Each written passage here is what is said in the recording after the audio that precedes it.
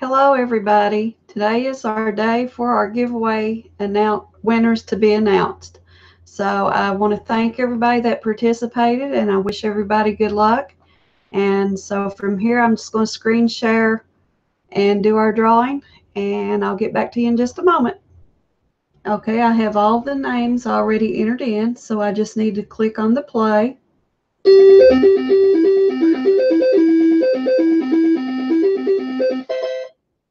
So JD Allison is our first winner.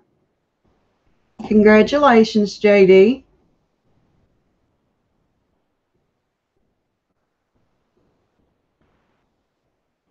Okay, we're going to click play once more for our second winner.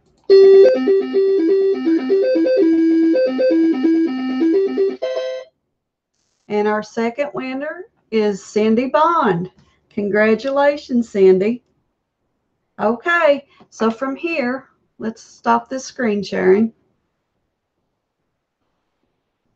So from here, all you need to do is contact me, and you need to contact me before August the 10th at 12 o'clock Eastern Standard Time.